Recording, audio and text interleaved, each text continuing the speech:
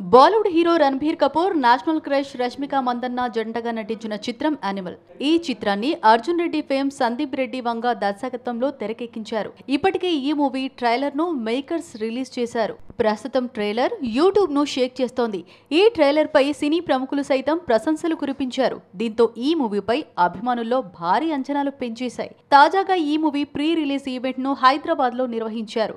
ఈ కార్యక్రమానికి టాలీవుడ్ ప్రిన్స్ మహేష్ బాబు దర్శక ధీరుడు రాజమౌళి ప్రత్యేక అతిథులుగా హాజరయ్యారు. అయితే ఈ ఈవెంట్కు యాంకర్గా సుమ వ్యవహరించారు. తన మాటలు కామెడీ ఆడియన్స్లో జోరు తెప్పించే యాంకర్ సుమ ఎంతో యాక్టివ్గా ఉంటోంది.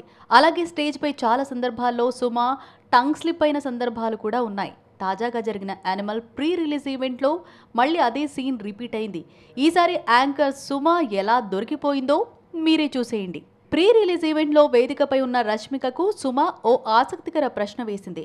మహేష్ బాబు సర్కారు వరి పాట చిత్రంలోని ఓ సాంగ్ను పాడాలని కోరింది. అయితే మహేష్ రష్మిక జంటగా నటించిన చిత్రం సరిలేరు నీకెవరు ఈ చిత్రంలోని అబ్బబ్బా అబ్బాయి ఎంత ముద్దుగున్నాడే అనే సాంగ్లో he so cute he so sweet he so handsome అంటూ రష్మిక డూయట్ పాడుతుంది.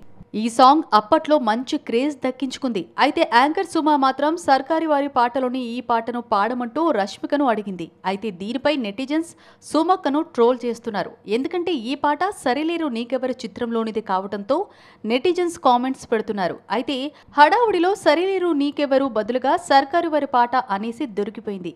ఇటీవలే కన్నడ నటుడు రక్షిత్ శెట్టి సప్తసాగరాలు దాటి సైడ్ బి ఇంటర్వ్యూలో సుమకు ఇలాంటి అనుభవమే ఎదురైంది. రక్షిత్ శెట్టి గురించి ఏమాత్రం తెలుసుకోకుండా ప్రశ్నలు వేసి దొరికిపోయింది సుమ. అయితే పెద్ద ఈవెంట్ కావడంతో అలా పొరపాటుగా అనేసి ఉంటుందని కొందరు కామెంట్స్ చేస్తున్నారు.